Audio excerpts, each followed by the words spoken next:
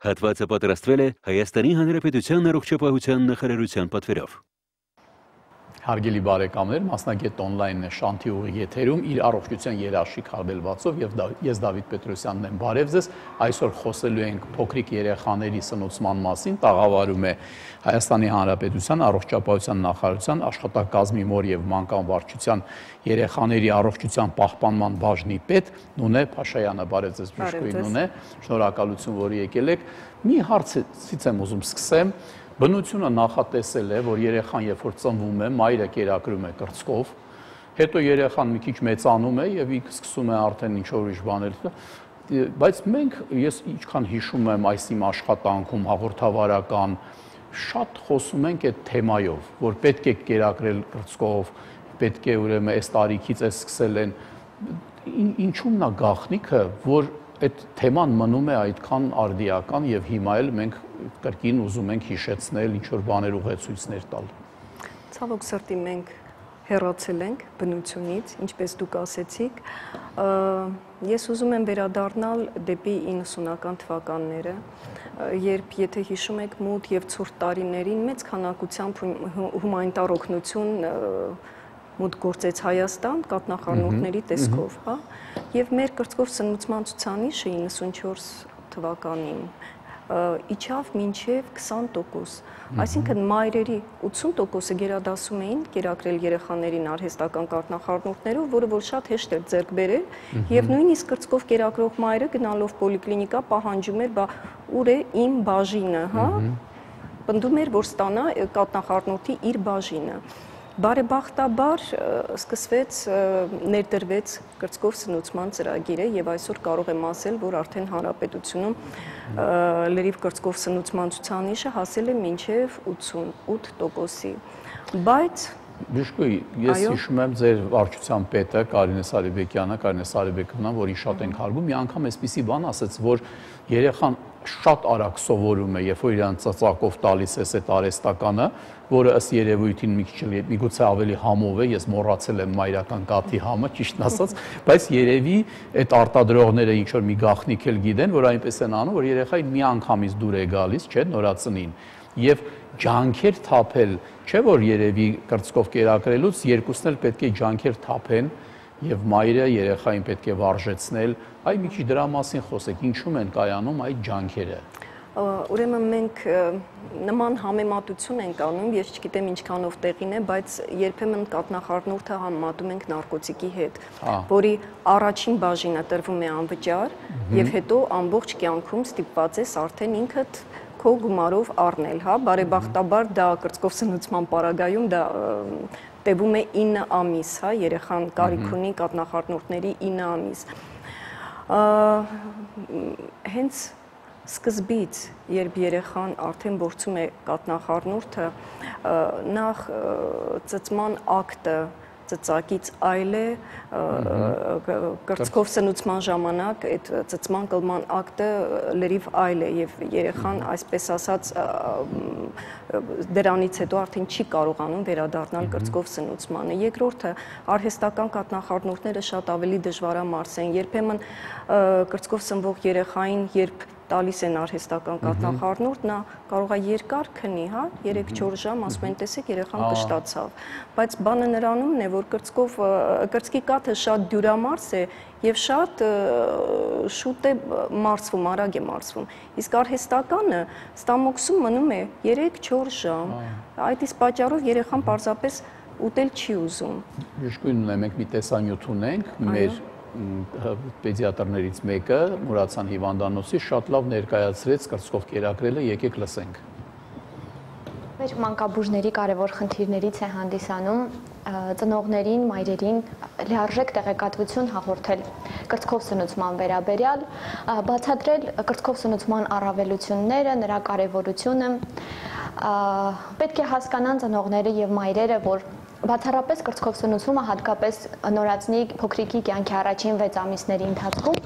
բավարարում է նրա անհրաժեշտ հեղուկի, էներգիայի եւ սննդանյութերի պահանջը եւ դրանով ապահովում է երեխայի լիարժեք աճ օպտիմալ զարգացումը, հայ եւ նրա առողջությունը։ Փոքրիկը սնվելով կրծքի կաթով ստանում է լիարժեք հակամարմիններ, իմունային համակարգը լինում է կատարյալ եւ պաշտպանվում առավելապես վերին շնչուղիների ինֆեկցիաներից եւ փոլյուծություններից լիարժեք ձևավորվում է ստորին ծնոտը, դիմածնոտային ապարատը, հա, երեխայի ատամնաշարը, կծվածքը,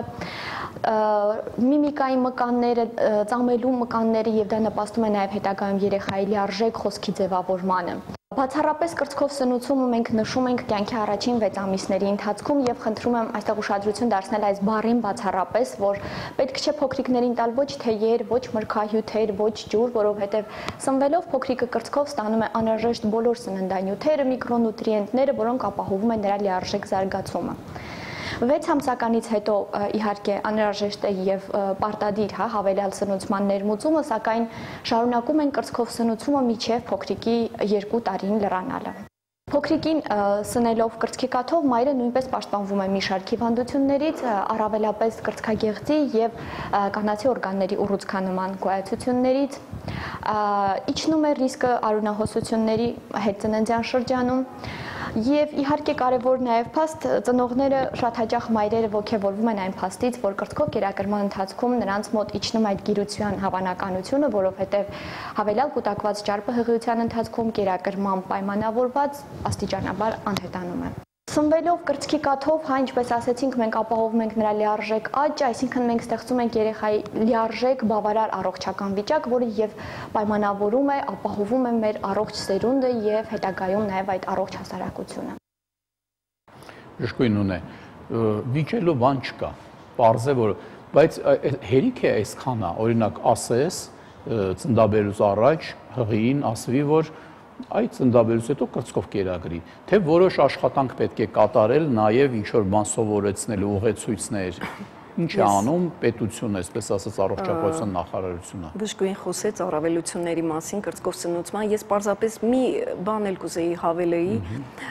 որ դա կրծքով սնուցումը այն բացառիկ տեխնոլոգիաներից է, որի միջոցով մենք կարող ենք նվազեցնել մանկական մահացությունը ըստ ԱՀԿ-ի, ըստ Lancet ամսագրի, Միայն կրծքով սնուցման միջոցով 13%-ով կարելի է նվազեցնել մանկական մահացությունը։ Եվ եթե հաշվարկված է, եթե աշխարհում բոլոր երեխաները մինչև 6 ամիս բացառապես կուրս կուտեին, յուրաքանչյուր տարի 1 եւ 4 միլիոն երեխայի կյանք կարելի էր փրկել։ Ասեմ, որ մինչև 1 տարեկան երեխաները արհեստական կերակրվող մոտարապես 15 անգամ ավելի շատ հավանականություն ունեն մահանալու քան կրծքով սնվող իրենց հասակակիցները ավելի հաճախ են լուծային հիվանդություններն դա շնչառական հիվանդությունները, այսինքն միայն դա, եթե մայրը լսի, կարծում եմ պետք է ընտրությունը կատարի կրծքով սնուցման օգտին։ Իսկ այդ կերակրելու տեխնիկային ինչ որ մի բան, որ ես ինչ եմ ասում, որ երբեմն երեխան ոնց որ այդքան էլ լավ չի սկսում այդ կրծքով կերակրվել, չէ, չի ուզում կամ ինչ որ մի բան մենք ինչ գիտենք, ինչքանով հեշտությամբ է գալիս այդ կաթը, չէ, միգուցե դժվարությամբ է սկզբում, բայց մայրը պետքա որոշ չափով համառ լինի, ինչ ինչ կարելի է անել, որ այդ process-ը ավելի դառնա արագ, ավելի արդյունավետ։ Ուրեմն նախ եւ առաջ մորը պետք է աջակցություն նա պետք է իմանա այս ամենի մասին արդեն մինչև ծնդաբերությունը, հա, եւ մենք ունենք մայրական դպրոցներ, որտեղ այս ամենը ուսուցանում են։ Սակայն, սակայն նաեւ ծնդատանը նրան պետք է աջակցություն։ Եվ Փարք Աստծո հիմա արդեն ի տարբերություն սովետական միությունի իմ սով, իմ սերնդի կանայք երևի կհիշեն, որ նախկինում 3 ժամը 1 էին հորդորում, որ երեխային կերակրել 6 ժամյա գիշերային ընդմիջումով ծնդատանը երեխային եւ մորը պահում էին անջատ, հա, Փարք Աստծո հիմա այսպիսի բաներ չկա, մենք ապահովել ենք համատեղկեցությունը հա։ երեխայի եւ մոր երեխային առնվազն կես ժամից 1 ժամվա ընթացքում ծնդաբերությունից հետո պետք է մոտեցնել մորը։ Այդ ժամանակ երեխան ճիշտ բռնում է կուրծքը։ Խնդիրները առաջանում են հետո, երբ որ երեխային տրվում է այլ սնունդ, հա, բացի կրծքի կաթից, հա, խնդիրները առաջանում են արդեն հետո եւ այս ժամանակ պետքա բուժ պերսոնալի աջակից մոտեցումը։ Ինչքան գիտեմ, որոշ ծնդատան պերսոնալն էլ մեկ-մեկ բացասական դեր է խաղում, չէ՞ որ ուղակի մեծ պատրաստակամությամբ մորը տրամադրում են այդ ձեր ասած ոնց որ նստացնում են ծծակի վրա, եթե թմրամոլին նստացնում են ասեղի վրա, տվյալ դեպքում ծծակի վրա ասում են դե դուր որ ուտի, որ սոված չմնա։ Երբեմն, երբեմն լինում է, բայց մայրը պետք է հասկանա, որ դա իր շահերից չի բխում, եթե հորդորում են, որ երեխային կարող են գիշերը տանել, որ դու հանգստանաս, հա, դա ամենևին երեխայի եւ մոր շահերից չի բխում։ Մայրը պետք է հա- լինի համառ, պետք է կերակրի ինչքան հնարավոր է հաճախ երեխային եւ ամեն ինչ կլինի լավ։ Սակայն, սակայն մենք ուսուցանում ենք բուժ պերսոնալին եւ ասեմ, որ 2015 թվականին կազմակերպեցին լայնածավալ կրթական տրեյնինգներ, կրթական կուրսեր բոլոր մարզերում, այսինքն բոլոր մարզերի ամբուլատոր պոլիկլինիկական համակարգի բուժ աշխատողները ուսուցանվեցին այդ հմտություններին, ինչպես օգնել, երբ երբ մոր մոտ խնդիրներ են առաջանում։ 6 ամսից հետո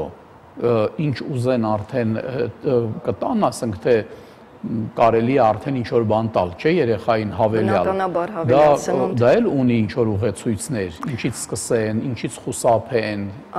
Իհարկե, իհարկե 6 մինչև 6 ամիս մենք ասում ենք, որ կերակրեք բացառապես կրծքով եւ նույնիսկ ջուր այդ ժամանակ տալ պետք չի, ել չեմ ասում թեյերի մասին, հա։, հա։ Սա մեր մեր ազգի մեջ ընդունված է, որ մինչև 6 ամսեկան երեխային նույնիսկ թեյ են տալի։ Ասեմ, որ սա կատեգորիկ արգելված է, որովհետև թեյը եւ վնասում է կրծքով սնուցմանը եւ խանգարում է երկաթի ներծծմանը։ Հա, երկու պատճառ։ 6 ամսեկանից հետո կրծքի կաթեմիային չի բավարարում երեխայի պահանջներին, սնուցողական պահանջներին եւ պետք է սկսել արդեն տալ հավելյալ սնունդը ասեմ, որ նախարարության պատվերով, հա, տպագրվել է շատ գեղեցիկ գրքույկ սեղանի օրացույցի ձևաչափով, որտեղ որ զետեղված են բաղադրատոմսեր 6 ամսեկանից մինչև 2 տարեկան երեխայի սնուցման համար, հա, պատրաստման եղանակը եւ բաղադրատոմսերը։ Երեխան պետք է սնվի լիարժեք։ Ահա Սա հասանելի է։ Այո, հասանելի է փետրվար ամսից հետո ծնված երեխաները արդեն բոլորը պետք է ստանան ամբուլատոր պոլիկլինիկական բուժհաստատությունների միջոցով։ Այսինքն այն երեխան, որը որ հաշվառում է պոլիկլինիկայում կամ ամբուլատորիայում, նրան արդեն պետք է տան այս երկու գրքույկը։ Բավականին մանրամասնորեն ամեն ինչ նկարագրված է։ Ես կարծում եմ, որ եթե չծուլանան մայրիկները եւ իրոք այս կարդան, դե ոնց որ խնդիր չի մնում Եթե հետևեն բոլոր այս խորհուրդներին, կարծում եմ խնդիր չի մնա, որովհետև ամսե ամիս, շաբաթ առ շաբաթ նկարագրված է, թե ինչ պետք է տալ երեխային։ Պարզապես պետք է կարդալ եւ հետեւել խորհուրդներին։ Այստեղ շատ կարեւոր էր այն 13% մահացության, որ դուք շեշտեցիք, որովհետեւ դա շատ լուրջ թիվ է։ Եթե մենք վերցնում ենք 100 երեխայից 13-ը, 13-ի կյանքը կարելի է փրկել միայն մենք անverջ կլսենք մահերի մասին, որոնք կլինեն թվում է թե ուրիշ պատճառներով, բայց որոնք չեն լինի, եթե եթե երեխան բացառապես կրծքով սնուցվի։ Այնուամենայնիվ երեխան երեխան շարունակում է մեծանալ, եւ 2 տարեկանից արդեն անցնում է, ինչ որ էլի նորմաներ, նորմատիվներ, մոտեցումներ կան ավելի մեծ երեխաների կերակրման։ 2 տարեկանից հետո երեխան արդեն անցնում է ընդհանուր ընտանեկան սեղանին, այսպես ասած, սակայն երեխան պետք է սնվի օրը 3 անգամ եւ ունենա միջանկյալ սնունդներ, երկու միջանկյալ սնունդ։ Պետք է սնվի բալանսավորված մենք գիտենք սննդի բուրգը, հա, այսինքն երեխան պետք է ստանա բավարար քանակությամբ եւ ածխաջրատ, եւ սպիտակուց, եւ ճարպ։ Բոլորը պետք է լինեն բալանսավորված։ Ասեմ, որ 2010 թվականի հետազոտությամբ Հայաստանում գրանցվել է 18% թերաճություն, ինչի մասին է սա խոսում մենք խոսում է նրա մասին, որ մենք ունենք քրոնիկական թերսնուցման խնդիր։ Սա նշանակում է, որ երեխան ստանում է բավարար քանակությամբ ածխաջրատներ, սակայն սպիտակուցը ունի սպիտակուցային դեֆիցիտ։ Սպիտակուցը դա միսն է, դա կաթն է։ Շնորհակալություն Ժշկոյին։ Մենք արդեն պետք է avարտենք, շատ ուրախացնում է նա, որ խնդիրը լրիվ հայտնի է տիրապետվում է առողջապահության նախարարության համապատասխան բաժինների կողմից եւ ուղակի ջանասիրաբար տարածելով այս գիտելիքները, օգտագործելով նաեւ զանգվածային լրատվամիջոցները, ես կարծում եմ, որ մենք կգանք նրան, որ այս ամեն ինչը կլինի շատ པարզ, հասկանալի եւ կիրառելի։ Շնորհակալություն, սիրելի բարեկամներ, մենք ընդհատվենք գովազդի, որից հետո կշարունակենք մասնագետ on-line-ը։ Հատվածը պատրաստվել է Հայաստանի Հանրապետության առողջապահության նախարարության պատվերով։ Որոգայթ հայկական գեղարվեստական ֆիլմ հոլիվուդյան կանոններով. Որոգայթ գեղարվեստական ֆիլմը շարունակում է մնալ մեծ էկրանին Հայաստանում, Միացյալ Նահանգներում. Նոր խոսք, նոր դեմքեր, նոր ընկալում Շատ ոգևորիչ ֆիլմ է, շատ լավն է, շատ տպավորված եմ։ Տպավորությունը երում է։ Շատ հավանել ենք, շատ տպավորված ենք։ Տպավորություններս շատ վառ են, որովհետև սպասումներս էլ էին մեծ։ Անկամ ես լաց եղա։ Պրոֆեսիոնալ ֆիլմ։ Իրոք շատ պրոֆեսիոնալ էր ամեն ինչ արած։ Ազդեցիկ ֆիլմ էր։ Բավականին տպավորված եմ։ Շատ լավ կինո էր, բոլորին մաղթում կան դիտեն անպայման։ Որոգայթ մայրը քաղաքի կինոթատրոններում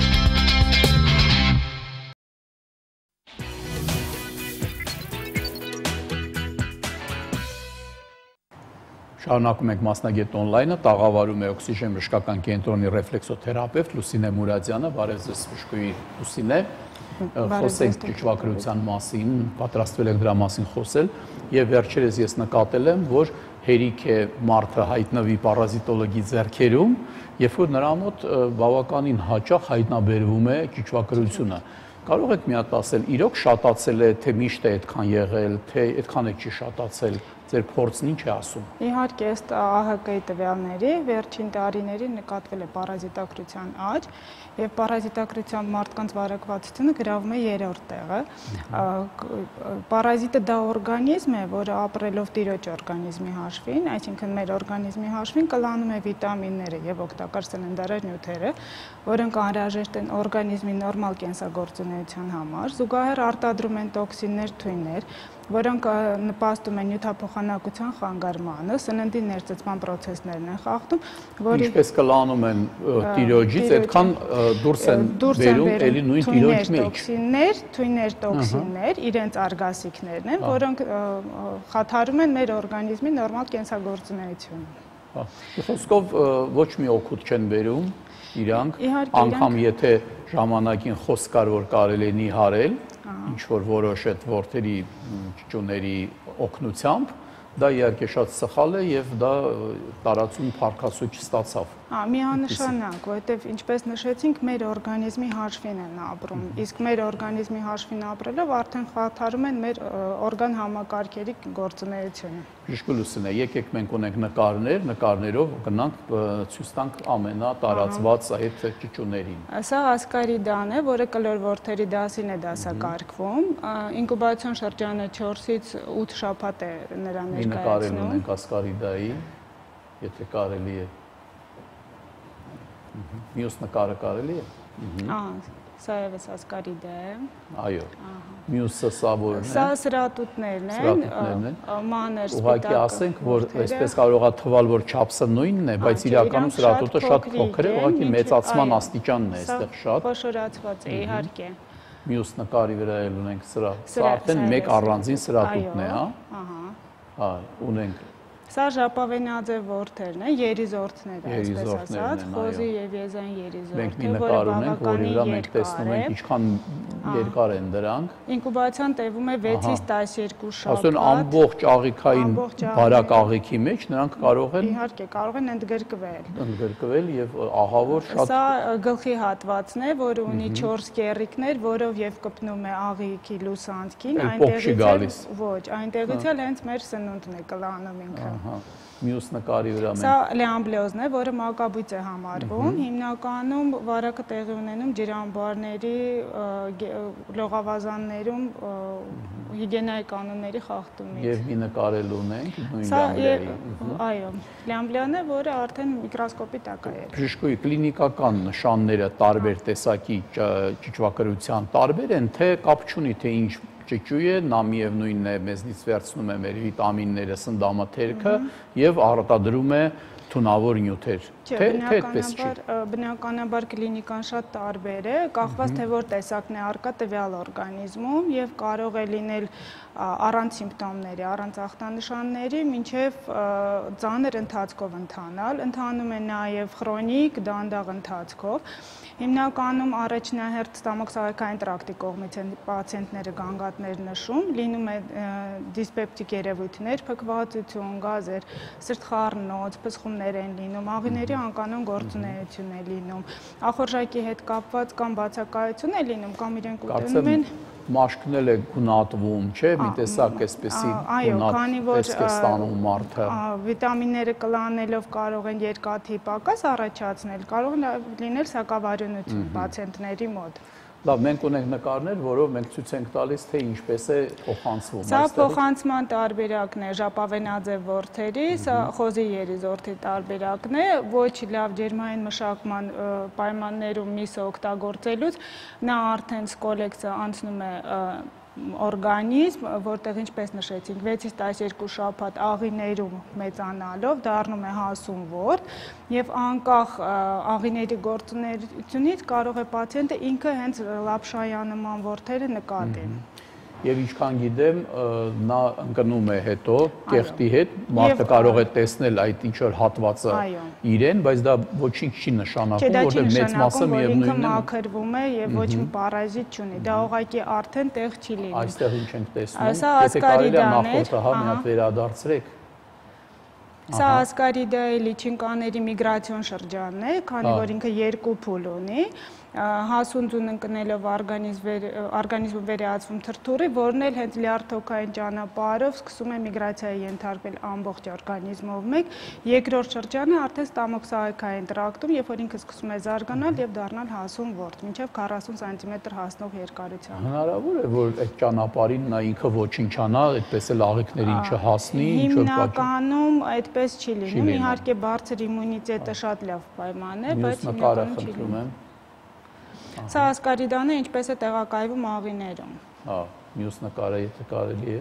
Սա արդեն վարակման ուղիներն են մանուկների մոտ, կեղտոտ ձեռքերն են հիմնականում վարակի վիճակը ինքը կարող է նպաստել տարածմանը առանց խոսքի։ Սա եւս երեխաների մեծ մասը իրենք մատն են դնում բերանը գիշերը քնելուց, դա եւս եղունգների կարճ կտրելը շատ նպաստավոր է, որպեսզի զերծ մնանք վարակվելուց, սրատուտի տարածման մեխանիզմն է սա։ Սա սրատուտն է հիմնականում։ Մանավանդ որ ինչքան գիտեմ հետանցքի շրջանում քոր առաջացնում, չէ։ եւ նույնիսկ աղջիկ երեխաների մոտ կարող է գանգատվել արդեն միզելուց, մռմռոցի զգացումից մյուս նկարը եթե կարելի է։ Սա ասկարիդան է, որոնք իրանք հակում ունեն կծիկների տեսքով միտեղ համախմբվելու, կարող է բերել աղիների անգամ, անգամ կարող է որոշ անանցելիության երևույթներ առաջացնել։ Իսկ այստեղ մենք տեսնում Սա միսն է, որը վարակված է արդեն երիզորդի սկոլիքսներով եւ բնականաբար տվյալ միսը օգտագործման ենթակա չէ, կիրառման ենթակա չէ։ Միսը պետք է բավականին երկար ջերմային մշակում անցնի, որպեսզի մեր օրգանիզմի համար վտանգ չներկայացնի։ Շշկույ Մուրադյան, մենք հիմա կընդհատվենք գովազդի, դրանից հետո մենք տեսանյութեր ունենք, խոսքով ամեն ինչ դեռ արժևում է։ Եկեք դիտենք գովազդը, սիրելի բարեկամներ։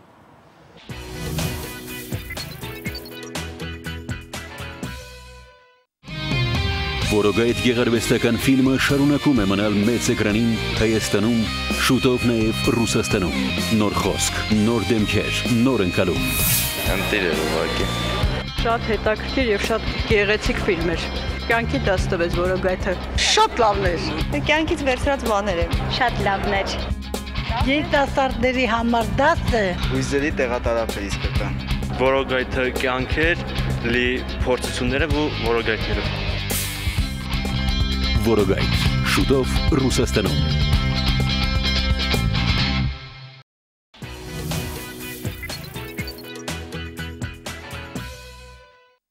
Շարունակում ենք մասնագետ on-line-ը տաղավարում է օքսիժեն բժշկական կենտրոնի ռեֆլեքսոթերապևտ Լուսինե Մուրադյանը։ Բժշկուի մենք ունենք զանգ, լսում ենք ձեզ։ Ալո։ Ալո, բարև ձեզ։ Բարև ձեզ։ Ես ձեզ կոն հարցն եմ, կարելի է։ Այո։ Ուրեմն երեխա 7 տարեկան է, առավոտյան արթնանում է գլխացավերով, որովայնում ցավեր է ունենում, սրտխառնոց, Լաբորատորիայում դիվագրության անալիզ եմ հանձնել, բայց չի հայտնաբերվել։ Ես ուզում եի բժշկուն հարցնել, դուք ինչ խորհուրդ կտաք։ Իհարկե վերը նշված գանգատները կարելի է կապել ճիճվագրության արկայության հետ, եթե մեկ անգամ է լաբորատորիայում անալիզը հանձնել, չի բացահայտվել, հնարավոր է եւս մեկ անգամ հանձնել։ Խորհուրդ կտամ մի հատ նորից ախտորոշեն, հասկանան իրոք դա ճիճվագրության հետևանք է թե ոչ։ Ճիշտ է, հիմա վերցնենք այն պահը, երբ որ պացիենտը ձեզ մոտ է գալիս, մենք տեսանյութ ունենք, խնդրում ենք դուք մի հատ ասեք ինչպես է ձեր մոտեցումը, այ եկել է պացիենտը Մեր կենտրոնում ախտորոշումը կատարվում է համակարգչային տարբերակով, ֆունկցիոնալ ախտորոշի սարքավորումների մեջ լավագույնը հանդիսացող Imedis Expert ապարատի միջոցով մենք կարողանում ենք ախտորոշել ճիճվագրության արկայությունը, տեսակը, ախտորոշման process-ը շատ տհաճություն չի պատճառում պացիենտին, անցավ է եւ կար ժամանակահատվածում մենք կարողանում ենք հավաստի արդյունք ապահովել եկեք լսենք, հեսա մենք այս տեսանյութից հետո կարող ենք տալ մյուս տեսանյութը, երբ նույն պացիենտը մեզ իր տպավորության մասին կասի։ Եկեք լսենք։ Երկար ժամանակ ինձ հիվանդ էի զգում։ Գլխացավ, գլխապտույտ, սրտխառնոց, ախորժակի բացակայություն։ Դիմեցի բժիշկների, տարբեր բժիշկներ, տարբեր բուժումներ նշանակեցին։ Ստացա բուժումներ, բայց ապարդյուն Դիմեցի օքսիգեն բժշկական կենտրոն,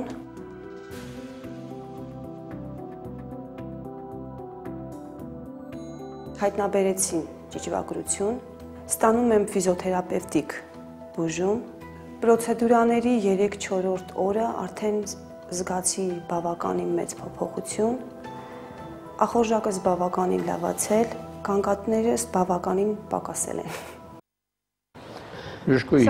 մենք զանգ ունենք, բայց ես ձեզ հարց տամ։ Ինչքանով եք դուք համարում ճշգրիտ մեթոդը, որով դուք ախտորոշում եք, ունեք համեմատական նույն լաբորատորի հետ թե չէ, եւ միթե միայն այդ ռեֆլեքսոթերա ֆիզիոթերապևտիկ մեթոդով կարելի է բուժել ճիճվակրությունը։ Իհարկե դոկտոր Դավիթ, մեր ախտորոշման հավաստիությունը բավականին բարձր է, բայց եղել են դեպքեր, երբ մենք մեզ մոտ ախտորոշել ենք եւ լրացուցիչ համոզվելու համար դիմել ենք այլ լաբորատոր հետազոտությունների, պատասխանները նույնն են եկել, այսինքն արկայությունը հաստատվել է, տեսակը եւս հաստատվել է։ Բուժման մասին խոսելուց բնականաբար միայն ֆիզիոթերապևտիկ բուժումը մի փոքր կթերանա, մենք զուգակցում ենք դեղորայքային բուժումը։ Լավ, դրա մասին մենք խոսենք ինչ ավելուշ, եկեք զանգանթում ենք, լսում ենք ձեզ։ Բարև ձեզ։ Բարև ձեզ։ Բշկուի ջան, ունեմ մաշկային խնդիր, ցանավորում եւ քոր։ Բուժվում եմ ալերգոլոգի մոտ, բուժման ընթացքում պասիվանում է, որից հետո էլի ակտիվանում է Ո՞ր է ալերգիայի պատճառը ճիճվակրությունը հանդիսանա։ Իհարկե, քանի որ յուրաքանչյուր պարազիտ, ինչպես նշեցինք, իր տոքսինները, թույները թողնում է մեր օրգանիզմում, բնականաբար, եթե մաշկը սենսիբիլիզացիայի մեջ գտնվի, հնարավոր է եւ ալերգիզացիայի ակտիվացում տեղի ունենա պացիենտների մոտ։ Ալերգիաների բուժման պակասումը տվյալ պահին դա դիտվում է զուտ ժամանակավոր էֆեկտ։ Այդ իսկ պատճառով անհրաժեշտ է միաճիճվակրության արկայությունը ստուգել, ախտորոշել, եթե չկա, նոր արդեն կենտրոնանալ զուտ ալերգիաների վրա։ Փաստորեն տեսեք ինչ վիճակ է, որ այդ սենսիբիլիզացիան եթե կա տվյալ որևէ նյութի նկատմամբ, որը արտադրում է ворթը, եւ այդ process-ը անվերջ է, եւ այդ մարդը տենց էլ չի կարող հասկանալ, թե այդ որտեղից է գալիս իր քորը, իր ցանավորումը, ճիշտ է։ Նա սկսում է փնտրել իր շուրջը, ենթակենցաղային քիմիա, ծաղիկ, չգիտեմ, մրգի մեջ եւ այլն, որը լրիվ անիմաստ է, դեպքում որ ամեն ինչ իր մեջ է։ Այ, կենտրոնանում է զուտ տվյալ պահին եղած սիմպտոմատիկայի վրա։ Ավելի խորը հետազոտություններ չի կատարվում։ Զանգ ընդունենք, լսում ենք ձեզ։ Ալո։ Այո։ Բայո։ Բարև ձեզ։ Ահա։ Ես հարցում եմ բժշկուհուն։ Երեխաս աչքերը կկոցում են անկանոն շարժումներ է անում։ Նյարդային գեր լարվածություն է մոտը նկատվում ունենում է դոքացավ, դրսարնոց, դոքապտույտ։ Ստրատուրության ժամանակ նման խնդիրներ կարող են լինել, թե չէ։ Դոկտոր Դավիթ կարող եմ այսպես պատասխանել, քանի որ ճիճվակրությունը բալիկների մոտ հատկապես առաջացնում է նյարդային լարվածություն, նյարդային լարվածության հետևանքով հնարավոր է եւ ծիկեր առաջանան երեխաների մոտ եւ երեխաները շատ դյուրագրգիռ են դառնում, անհանգիստ են քնում, կամակոր են դառնում։ Իրենց հետ ոչ մի փոխըմբռնման տարբերակ չեն կարողանում գտնել ծնողները, հնարավոր է ճիճվակրության արկայության դեպքում նման սիմպտոմները առաջանան։ Աստորը տեսեք լուսինե դուք ասում եք, որ բավականին շատերի մոտ կա ճճվակրություն, դա նշանակում է, որ այդ ճճվակրողների մեջ կարան լինել մարդիկ նաև այլ հիվանդություններով, որը նույնպես գումարվում է իր ախտանիշներով գումարվում է այն ինչ որ առաջացրել է ճճվակրությունը։ Եվ այստեղ երևի կարևորը ինչն է, այդ ճճվակրությունը եթե գտնել եւ բուժել, այն մյուս հիվանդությունը արդեն ավելի մաքուր ձևով հանդես կգա, եւ կարելի է ինչ որ մի նեղ մասնագետ արդեն զբաղվի Ես կարող եմ հավելել դոկտոր Դավիթ, որ ըստ ԱՀԿ-ի մեծ մաս հիվանդությունների առաջացման կարող են հենց պատճառ հանդիսանալ պարազիտները, հելմինտները որովհետև եւ ստամոքսային տրակտում են իրանք բնակվում, կարող են առաջացնել խոլեցիստիտ, լեղուղիների դիսկինեզիա, լեղու կանգ եւ գաստրիտ կարող են առաջացնել ստամոքսի բորբոքում իրանց ներկայությամբ եւ պանկրեատիտի առաջացման պատճառ կարող են հանդիսանալ։ Այդ իսկ պատճառով ախտորոշվեն, հասկանան արկա է թե ոչ, նոր արդեն կենտրոնանան զուտ խնդրին։ Իշկլուսն է շատ կարճ գովազդ ունենք, սիրելի բարեկամներ, մի հեռացեք էկրաններից, մենք հետո շարունակելու ենք։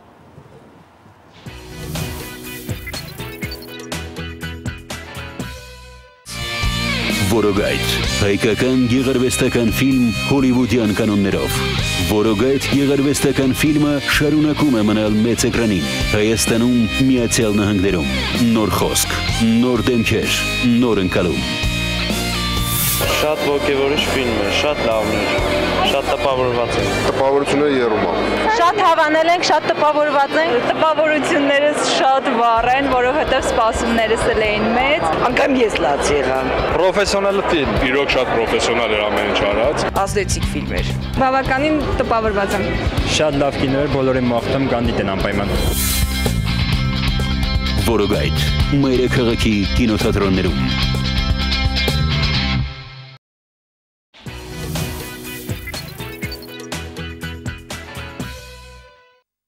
Շարունակում ենք մասնագետ on-line-ը, զանգ ունենք, լսում ենք ձեզ։ Ալո։ Այո։ Բարև ձեզ։ Բարև ձեզ։ Խնդրում եմ բժշկուին մի հարց ունեմ տալու։ Այո։ Բժշկուի ջան, իմ թորնիկս 4 տարեկան է։ Այո։ Գիշերը քնելու ժամանակ ատամները կրկրացնում է երեխան, ունի փորիկի մոտ ցավեր եւ բերանից ջուր է գնում։ Քնած ժամանակ դա ամբողջը գնում լինում է միայն երեկոյան քնելու ժամանակ։ Կարակ հարցեր տա բժշկուի, եթե դեռ չի անջատել։ Իսկ առավոտյան որը արթնանում է, սրտխառնոտ ունենում է բալիկը։ Լինում է, լինում է մոտը բժշկուի ջան, բայց ոչ ամեն օր։ Եվ կարող է լինում է, բայց ոչ ամեն օր։ Միայն շատ ուժեղ ատամները կրկրացնում է, ոնց որ մեծ մարդու մոտ ատամները կրկրացնում է երեխան։ Ու ամեն դարձնելուց ինչ որ sense սպիտակ բերանիկի մոտ այսպես սպիտակ ջրեր է ու մի բան է բժիշկուի ջան, իր աչիկների թաթիժները որ կա, այո, աչիկների։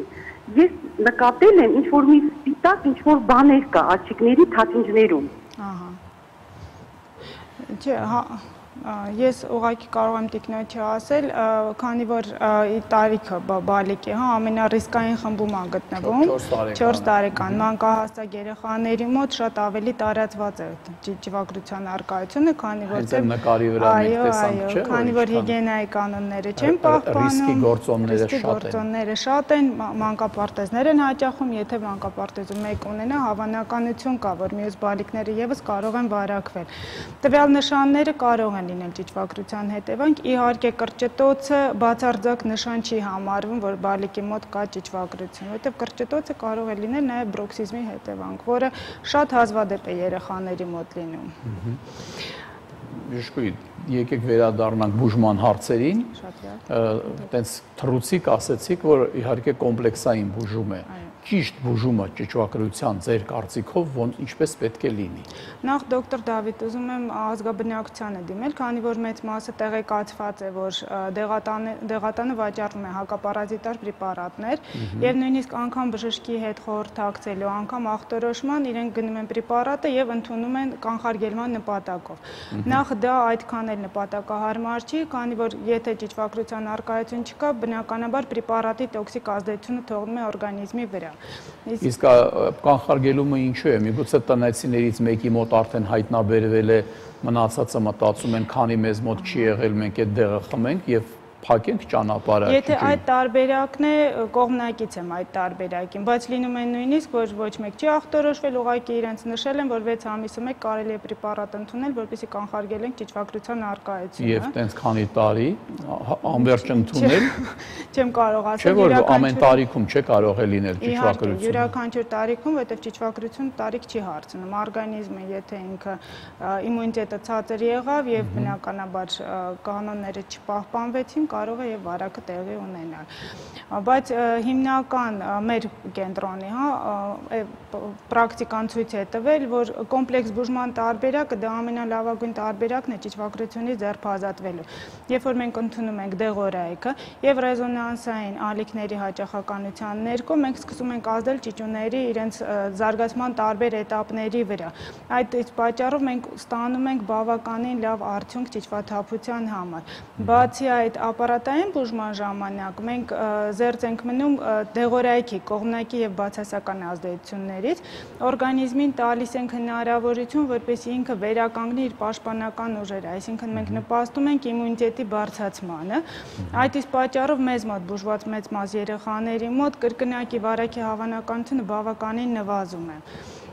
Մեր պրակտիկան դա է ցույց տվել շատ տրամաբանական է ձեր ասածը եւ մենք միշտ գիտենք բժիշկներս որ եթե օրգանիզմը ինքը չի օգնում բուժմանը մենք օրինակ այս տարի ունեցանք այդպիսի դեպքեր երբ որ այս գրիպի պատճառով ունեցանք մահացություն չէ եւ ես համոզված եմ որ բոլորին էլ փորձել են բուժեն եւ հսկայական քանակներով նորագույն հակաբիոտիկներ են իրենք ստացել եւ հարցը առաջանում ինչու այդ ամեն ինչը չազդեց Եվ պատասխանը դա է, օրգանիզմը ոնց որ հանձնվում է, ինչ որ մի պահ է գալիս բազմա օրգանային անբավարարություն է սկսվում, հատկապես շնչառական օրգանների հետ եւ ուղղակի այդ դեղը ոնց որ ուղղակի լողում է արյան մեջ ոչ մի էֆեկտ չտալով։ Էֆեկտ չի տալիս։ Իհարկե, իմունիտետը բարձր պետք է։ Զանգը ունենք, լսում ենք ձեզ։ Ալյո։ Այո։ Բարև ձեզ։ Ես մի հարց ունեմ բժշկուհուն։ Աղջիկս 8 տարեկան է։ Ախտորոշվեց նրա մոտ երկու տեսակ ճիճուներ՝ լյամլիա եւ ասկարիտ։ 4 անգամ մենք դեղորայքը ստացանք, որից հետո արյան անալիզը պատասխաններ եկավ, որ այլևս չկա ճիճու։ Բայց ախտանիշները նորից նույնությամբ մնում է՝ փորացավը, սրտխառնոցը, ախորժակի անկումը, թույլ թույլ վիճակը, ֆիզիկական թույլ վիճակը։ Հիմա ուզում եմ ասել բժշկուհի ջան, ինչքանով կարող ենք համոզված լինել, որ հաստատ նրան մոտ ճիճուները վերացել են եւ փորձենք այլ ինչ որ բժիշկների դիմել, էլի հասկանենք ինչից է նրա գանգատները շատ շատ տարածված տարբերակ է ոնց որ նյութականը չի լինում որսալ ասեցին ճճուներ են բուժեցին ճճուներ չկան բայց ախտանիշները դեռ մնացել են, այո։ Ինչ ձեր մոտ եղել է երևի տես դեպքեր։ Դոկտոր Դավիթ, հարցը նրանում է, որ երբ որ մենք սկսում ենք պրեպարատների ընդունումը, արդեն պրեպարատների ընդունումից որոշ ժամանակ անց մենք նոր կարող ենք ախտորոշել արյան անալիզով մեր պրեպարատները ազդել են թե ոչ օրգանիզմի վրա։ Ես ուղղակի չհարցրեցի, որքան ժամանակ հետո են իրանք արյան անալիզը հանձնել, որովհետև շատ կարևոր է, թե ինչքան է անցել, որ արյան անալիզ ինքը հակամարմիններն է, անտիգեն հակամարմին տարբերակով է բացահայտում ճիճվագրությունը, հա, ասկարիդի եւ լյամբլեի արկայությունը։ Այդ իսկ պատճառով միգուցե տվյալ պահին օրգանիզմը ինքը արհեստականորեն բարձր իմունիտետի հաշվին տիտրը իջեցրել է եւ չի հայտնաբերվել, բայց քանի որ ախտանշանները մնացել են, կարելի է եւս մեկ անգամ ախտորոշել հաս հասկանալ։ Միշկլուսն է, իսկ դեղը, այսպես մենք դեղ խմեցին, դեղ խմեցինք, բոլոր ճիճուների դեպքում դեղը նույնն է, թե դա ընդամենը մի դեղ է, թե մի քանիսն է եւ բժիշկը պետք է ասի որ այս դեպքում էս ընդունի են, են ընդունի։ Շատ ակտուալ հարց տվեցիք դոկտոր Դավիթ, որովհետև հակապարազիտար պրեպարատները իրենք բազմազան են եւ բնականաբար մի պրեպարատ չի կարող ազդել բոլոր տարբեր պարազիտների վրա։ Ճիշտ է, որովհետև դեղատան աշխատողը այդքանը երևի չիմանա։ Իրեն գալիս են ասում են՝ «Ունեք հակաճիճվային դեղ», ասում հա, ունեմ էսա։ Ահա Դուք շատ ճիշտ նշեցիք, դոկտոր Դավիթ, որ իրենք այդպես հենց դիմում են դեղատան աշխատակցուհուն, աշխատակիցն էլ տալիս է, բայց անհրաժեշտ է տեսակը որոշել։ Տեսակը որոշելուց հետո ես ելի անդրադառնամ մեր կենտրոնի առավելությանը, որ երբ որ մեզ մոտ ախտորոշվում է ճիճվագրությունը տեսակը, մենք արդեն առանձին ստուգում ենք տվյալ օրգանիզմի համար անհատական թե որ պրեպարատն է ազդում։ Այդ իսկ պատճառով կարող եմ ասել, որ ելի շատ էֆեկտիվ արդյունքներ են ունենում դեղորայ շարքային բուժման, քանի որ մեկ պրեպարատով մենք չենք սահմանափակվում։ Զանգուն ենք, Լուսինե լսում ենք։ Հալո, այո։ Բարև Բարև ձեզ։ Ուրեմն հարցս այսպեսին է, տղաս 13 տարեկան է, ինքը ունի 3-4 ամիսը մեկ իր մոտ կրկնվում է այսպեսի նոբաներ, երբ որ զուգարանա ուզում, այդ պահին եթե չգնաց, իր մոտ արկելափակում այլ չի կարողանում գնա, մինչև մոմիկ չենք դնում, պրիստուպի մեջ անգնում սուտ ցավեր, ուզում եմ իմանալ դա կապ կունենա ճիճվագրության հետ եւ իր մոտ պեպեններ ա տարիքի հետ շատ անում, տարիքի մեծանալու հետ զուգահեռ դեմքը պեպեններով լցվում է։ Պեպենների մասին չի լսել։ Դա կապ Իհարկե մաշկային ախտահարումներ լինում են ակնեի տարբերակով, բայց տվյալ դեպքում պեպենների մասին չեմ կարող այդպես միանշանակ ասել, որ դա ճիճվագրության արկայության հետևան կարող է լինել, եւ շատ կարեւոր է թե երեխան ինչպես է սնվում։ Եթե միշտ 4 սնունդ է օգտագործում, հա տապակած սնունդ է օգտագործում, միգուցե դա վերել է աղիների միկրոֆլորայի խանգարմանը։ Այդ իսկ պատճառով աղիների գործունեությունը բավարար չի կատարվում։ Ճիճվագրության արկայության դեպքում, ինչպես նշեցինք, հա, նույնիսկ ածկարիդայի եւ սերահատուտի դեպքում կարող են լինել աղիների անանցանելիություն։ Եվ շատ դեպքերում նույնիսկ երեխաների մոտ, երբ որ այդ պահին իրենք ուզում են դուրս գան ցավ է առաջացնում, ցավ է առաջանում, իրենք արդեն վախի զգացումով չեն ուզում տոալետ գնան, որպեսզի այդ ցավը նորից չլինի։ Այդպիսի դեպքեր էլ ենք մենք ունեցել։ Շկոյի, այս ախտանիշները, որոնց մասին շատ մենք նոր էլ լսեցինք եւ գիտենք, մի տեսակ իրենք այդքան ցենց մի հիվանդության մասին չեն խոսում, էլի։ Իրենք այդ գլխապտույտ, ենթադրենք թուլություն, սրտխառնոց, ինչ հիվանդության ժամանակ ասես կարող է լինել։ Մյուս կողմից բավականին շատերի մոտ կարող է լինել ճճվակրություն։ Այ ինչ եք անում դուք որ կարողանում եք այդ եք դիֆերենցիալ դիագնոստիկան կազմակերպել։ Դոկտոր Դավիթ, երբ որ պացիենտը գալիս է, նախ մենք անամնեզ ենք հավաքում, այսինքն մենք ճշտում ենք թե որքան ժամանակ է իրան հիվանդ զգում, որքան ժամանակ են տվյալ գանգատները անհանգստացնում, լրացուցիչ ինչ ինչ հետազոտման մեթոդների է դիմել, ընդհանուր արյան անալիզ հանձնել է թե ոչ, որովհետև դա էլ է մեզ համար կողմնորոշիչ, քանի որ ճիճվակրության արկայության դեպքում մենք ուզում մենք ունենում ենք էոզինոֆիլիա արյան մեջ բնականաբար եթե որովայնի կողմից են, հա, գանգատները որովայնի սոնոգրաֆիայի են ուղարկցում, որպեսզի տեսնենք որովայնում օրգան համակարգերի կողմից ֆունկցիոնալ կամ օրգանական ախտահարումներ ունեն, թե չէ։ Ընդհանուր կոմպլեքս մենք անամնեզի հետևանքով նոր արդեն հավաքելու հետևանքով նոր մենք կարողանում ենք ախտորոշել եւ հասկանալ դա զույգ ճիճվագրություն է, թե լրացուցիչ ուղեկցող հիվանդություն ունենք տվյալ դեպքերում։ Մի զանգել ընդունենք, բժշկությունն լսում ենք։ Ալո։ Այո։ Հարցրեք, ժամանակ քիչ ունենք։ Ահա մի բան եմ ուզում բժշկուն դիմել։ Ես 22 տարեկան եմ, արդեն 2 տարի տարապում եմ ճիշվագրությամբ եւ ունեմ ասկարիդոզ եւ սրատուտ։ Տարբեր պրեպարատներ եմ օգտագործել, եթե բժշկուն հետաքրքրում է, նշեմ Zenter, Gelmectox, հայկական Mebendazole, հիգիենան պահել եմ նաև հակագովազդ է գովազդ չէ մեզ չեն կարող մեղադրել որ դեղեք գովազդում չէ բացարձակ հակագովազդարից բժշկուին իմանա է ինչեր եմ օգտագործել երկու տարի ասենք 4 ամիսը մեկ ես այդ ամեն բուժումը կրկնել եմ նաև տնական բաներ եմ արել հիմա էլի գնացել եմ նաև իրենց կլինիկայում եմ գնացել անալիզ տվել էլի հայտնաբերվել է իմ մոտ ճիճվակրություն այդ ամեն ինչը ինքնուրույն եք արել թե ինչը մեկը խորհուրդ է տվել ձեզ որ այդ դեղերը Չէ եղել է նաև բժշկի խորհուրդ նաև եղել է որ ինտերնետով տնական հիմնականում անում բուժումները ու ինձ մի բժիշկ ասեց որ կարող է ձեր մոտ քրոնիկ լինի ձեր բուժելը շատ-շատ դժվար է ուղղակի բժշկուն ուզում եմ խնդրել եւ հարցնել քրոնիկ ճճվակրություն լինում ինչ Ինչ կարող եմ ես անել, էլի հետագա ոնց կազմակերպեմ պատասխան։ Շատ կարճ կարող եմ պատասխանել, որ շատ անհրաժեշտ է տվյալ պարագայում, որ տան անդամները եւս ստուգեն, քանի որ նշված ճիճվակրությունները իրանք վարակելիության բարձր ցուցանիշ ունեն եւ մենակ մեկ անդամի բուժումով կարող են չսահմանափակվել։ Այդ իսկ պատճառով պետք է տան անդամներն անպայման մի հատ բուժման տակտիկա անցնեն, որպեսզի հասկանանք ինչումն է խնդիրը։ Ուրեմն մենք ինչ հասկացանք, որ տարիքային սահմանափակումներ ճիճուների համար չկան, որ տարբեր այդ ճիճվակրությունը ունեն տարբեր կլինիկա, բայց որոշ բաներով նման են, որ երբեմն նրանք կարող են նմանվել այլ հիվանդությունների, օրինակ ասենք թե եթե դա փակում է լեղուղին, դա կլինի ոնց որ խոլեցիստիտ եւ այդ խոլանգիտ եւ այդպես մի բան, եւ այն որ պետք է լինել համառ, հետեւողական, ճիշտ կենտրոն դիմել, որտեղ կա փորձ այդ ամեն ինչի եւ բուժման եւ ամեն ինչի ճիշտ է բժշկուի մենք պետք է ավարտենք հաղորդումը սիրելի բարեկամներ ով չհասցրեց զանգահարի հարցը տա բժշկուն մենք բազմաթիվ անգամ համարը տվել էինք եւ պատկերացրեք որ եթերից հետո բժշկուին կարողանա ավելի ուշադիր ձեզ հարցեր տա կարող է պատասխանել ձեր հարցերին եւ այսպես մենք կլուծենք կարեւորագույն հարցը 21-րդ դարում մի քիչ ճճվակրությունը լավ չի նայվում էլի ինչ ուզում եք ասեք շնորհակալություն ստեսյուն մի հիվանդացեք